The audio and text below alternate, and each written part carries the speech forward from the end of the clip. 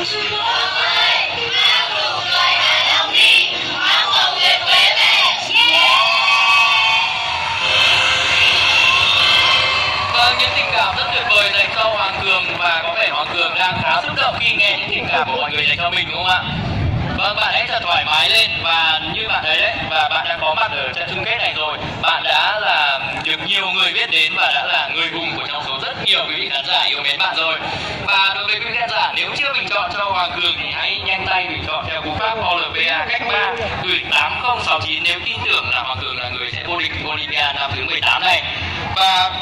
điểm khác biệt của chung kết đường đỉnh Olympia năm thứ 18 so với chung kết của Olympia các năm trước, đó chính là thay vì điểm cầu được đặt tại các trường nơi các bạn đã theo học thì chúng tôi đặt tại những địa điểm có đông người hơn để có thể cho các bạn những trường khác cũng có thể hòa vào không khí trận chung kết này. Và chúng tôi muốn lan tỏa hơn nữa những tình yêu Olympia tình yêu đối với học vấn và tri thức.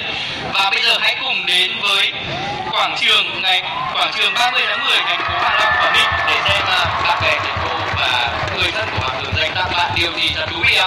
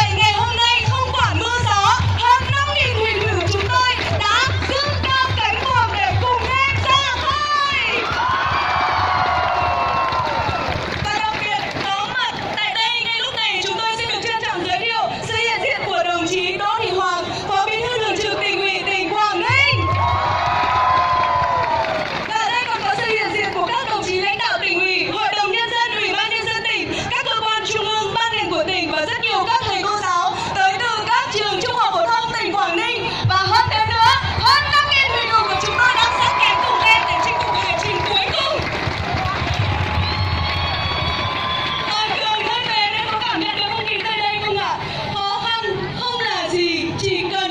chúng ta